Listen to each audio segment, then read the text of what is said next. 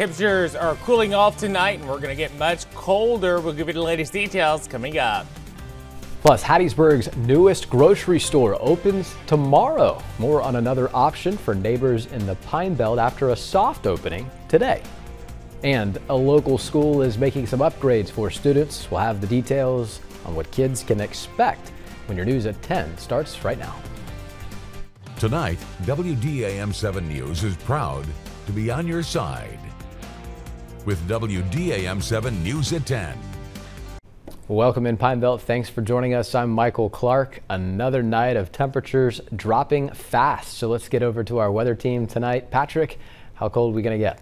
Yeah, we're already getting pretty chilly out there tonight here across South Mississippi. Temperatures are falling a little bit faster than expected, and because of that, I bumped down our low about a degree or two. Uh, we're already into the upper 30s right now, 38 degrees out at the uh, campus of USM for tonight. Ever there's a live look over Midtown Hattiesburg, a beautiful cold night there out at the Mississippi Power Sky Cam. Winds are calm at the moment. It's 36 now in Purvis, 36 in Laurel, 34 already in Columbia and Foxworth, 39 in New Augusta, and 35 right now in Taylorsville. And that temperature is going to continue to drop. In fact, we uh, bumped it down about two degrees. Now expecting uh, temperatures to bottom out right around 30 degrees in Hattiesburg. So I would not be surprised to see some upper 20s in some of those more outlying communities outside of uh, Hattiesburg or Laurel. So it's going to be a very cold start tomorrow morning for those kiddos as they head to the bus stop. A warm jacket would definitely be nice for them. As we head into the afternoon, though, we're going to warm up nicely. 61 degrees. A few clouds are going to move in across the area, and it's really going to be a beautiful day. Enjoy it because we're going to start to see more clouds move in towards your Friday. I'll break it all down in just a few minutes. Patrick, thanks. We'll check back with you soon. Tonight, people in Jackson County are in mourning after a deadly crash that killed two recent high school graduates, Kayla Watkins Kyla Watkins and Sadari Watson Pearson were killed in a crash on Highway 49 in Stone County yesterday. A third person in that crash, Tatiana Richmond, remains in critical condition. All three girls were graduates of Gautier High School and were all on the cheerleading squad during their time at the middle and high school. Their former coach says she is still in shock. Kyla, which we called Muffin, uh, Tatiana and Sadari were super close. They went to PERT together. So that's why it's this is really going to affect the Gautier community because these girls grew up together. They all were very outgoing, well known, and so the community is just going to have to bond together and be strong for each other. The Mississippi Highway Patrol continues to investigate the crash. There will be a community candlelight vigil tomorrow at 5 p.m. at Gautier High School's stadium. One person is dead after a shooting in the Hoy community in Jones County today. The sheriff's department said it is in the early stages of its investigation, but one person was shot in Windsor Court. The coroner tells us that person died at the hospital. Deputies say the shooting suspect is in custody and there's no ongoing threat to the community. We've reached out to the coroner's office tonight for more information on the age and the gender of that victim, but the person's name has not been released as family members are being notified. The sheriff's office is expected to release additional details tomorrow. Stay with us for updates. Well, in lighter news for you tonight, Aldi is giving customers a sneak peek before the Hattiesburg location officially opens tomorrow with a ribbon cutting. Our Trey Howard has reaction from neighbors excited about another grocery option in town. Hello and good evening, Pinebelt. Well, just a day before all these doors officially open here in Hattiesburg, people got the opportunity to slide by and get a little sneak peek at the grocery store here tonight. And from what I can see, it's all been positive reviews. Since I've been here, the parking lot has been packed. People have been coming in and out with mostly excitement for having another grocery option here in Hattiesburg. Now, the doors officially open tomorrow morning at 9 a.m. with the store offering incentives for the first 100 customers. So all day tomorrow is sure to be a bunch of excitement here in Hattiesburg for the new Aldi store opening. I will send it back to the studio, but for now, in Hattiesburg, Trey Howard, WDAM 7 on your side.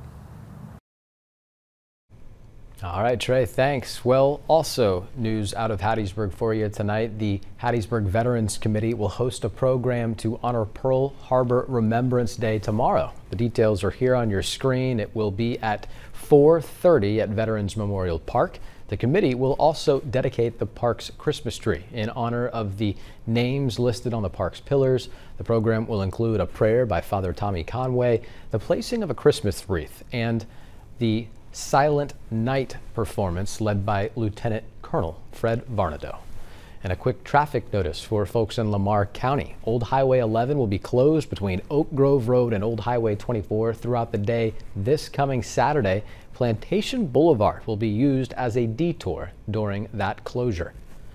Two construction projects are also underway in Laurel. One is on Ellisville Boulevard from Carroll Gartin Boulevard to Jefferson Street, where crews are replacing all water services and installing new water meters. Workers will lay new pavement as well. The project will continue to the Interstate Bridge. The other work is on Central Avenue to Speck Wilson Boulevard, connecting to Carroll Gartin. That will consist of improving sidewalks and crosswalks for better access to businesses with bricked pavement. Work will take about four to six weeks.